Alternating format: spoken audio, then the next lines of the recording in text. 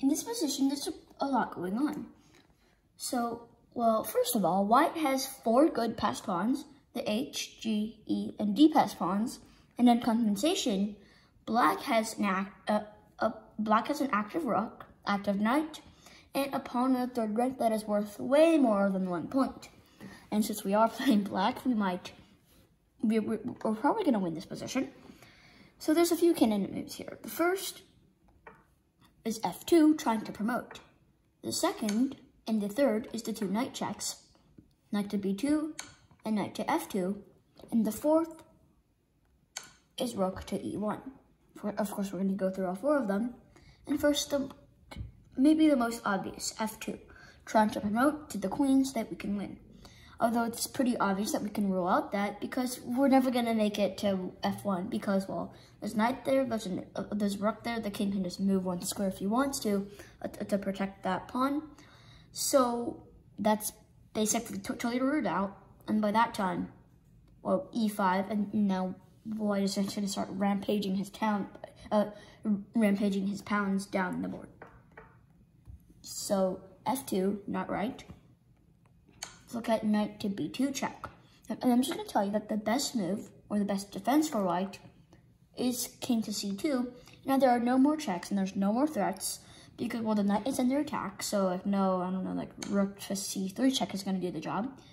Although there is one little tricky move, knight to d3. And the idea is that if you dare take my pawn, well, then I fork you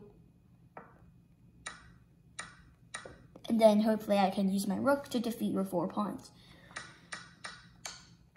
Although, well, first of all, white doesn't have to take that pawn. And second of all, there is a nice move, a very beautiful move. And it's knight takes f3. And first it looks like we're falling into the trap again, right? Because, well, you still get forked.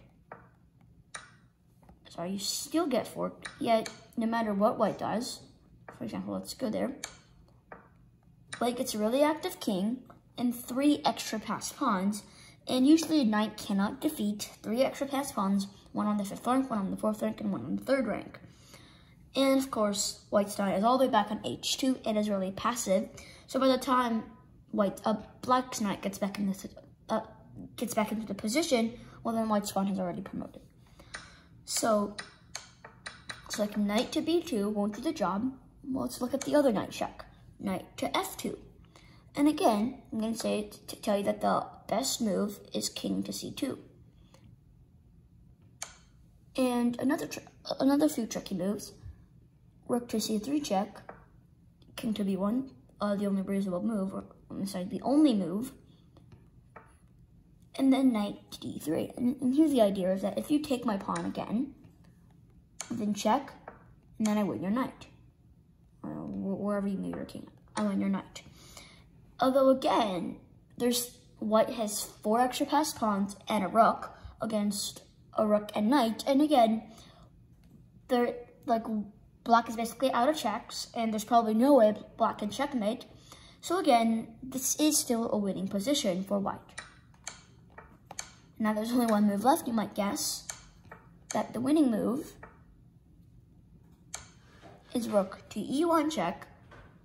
And again, you might guess the best move is king to c2. But then we just wrap around the king, and even though we lose our knight, we find that a very nice rook to c3 ends in checkmate, as, like I said, that pawn that's worth more, way more than one point, in fact here it's worth a whole checkmate, guards the precious e2 square, the and, and the rook is protected by the b pawn, the d square is protected by the c pawn, the um the e3 square is obviously x-rayed by the rook, so very nice checkmate in the center of the board.